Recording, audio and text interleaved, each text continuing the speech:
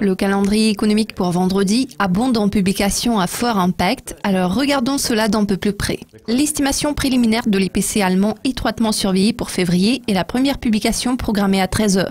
Le taux d'inflation annuel global a augmenté de 0,2 points de pourcentage en janvier, atteignant son plus haut niveau en 7 mois.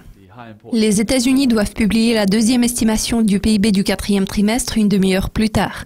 L'estimation préliminaire suggère une croissance beaucoup plus lente que le gain de 2,1% du trimestre précédent et ce chiffre pourrait descendre encore plus bas.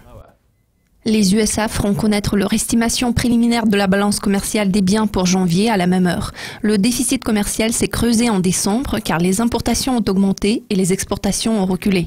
Les chiffres sur les revenus et les dépenses personnelles aux États-Unis pour janvier seront disponibles à 15 heures. Le rapport de décembre a montré que le revenu a poursuivi sa croissance à un rythme soutenu, mais les dépenses sont restées inchangées car les consommateurs sont de plus en plus inclins à épargner leur excédent de revenus. L'estimation finale de la confiance des consommateurs de l'Université du Michigan pour février sera publiée au même moment. L'estimation initiale suggère que l'indice a reculé pour le deuxième mois d'affilée. Je suis Sam Meredith et ce sont les communiqués de presse à surveiller le vendredi 26 février. Revenez demain pour le prochain aperçu des principaux événements de lundi. Au revoir.